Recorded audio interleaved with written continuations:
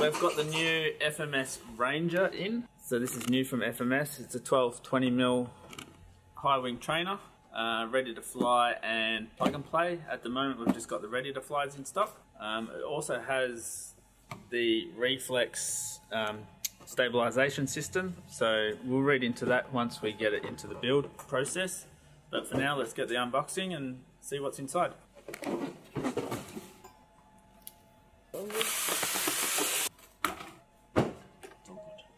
Okay, so we'll get rid of this port here.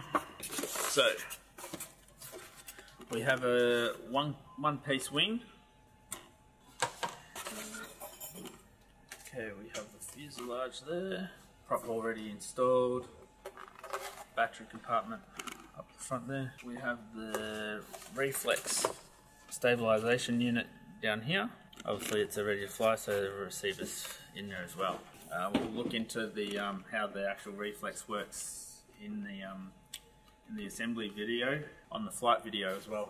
So in the box we get the 1300 milliamp 3S. Also in the ready to fly kit you get the charger. We have our elevator assembly. You get the FMS float set. So you can turn it into a um, water plane as well. We have our float wires.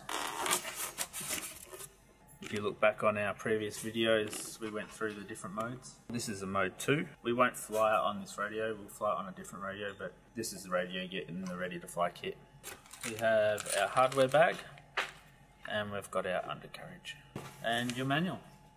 Alright, so I've cleaned the, uh, the box away. The first thing you notice about this new plane is this um, fancy front wheel. Now, for beginners, this makes it really easy because if you're coming into land, you can virtually bend it right back, um, even sideways, forwards. So if your landings aren't quite 100% yet, um, you're not going to break that front wheel off straight away and then damage the front prop or the aircraft. So that's a really good way to do things. So for a beginner, that's a great achievement there. I think in the in the in the flight video, we'll um, we'll see if we can get the brain to sort of switch off a bit, try and get this to work a bit, and try and get it on film as well. Another thing is, this is the first time I've seen FMS with the stabilizer. I'm not sure how it's gonna sort of react or play. I have flown planes with stabilizers before, so we'll see how that goes as well in the flight.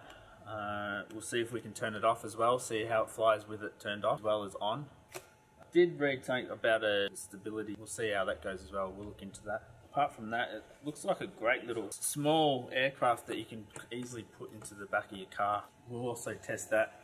We'll try and put it in the car with, with the wings on and, and see if people can get it in their standard car. So after this video, we will we'll do a build video on this plane just to go through how easy it is to put together from scratch. If we find any tips and tricks on the way, we'll, we'll let you know as well. And then we'll organise to do a flight video and chase video for you guys so you can see it flying.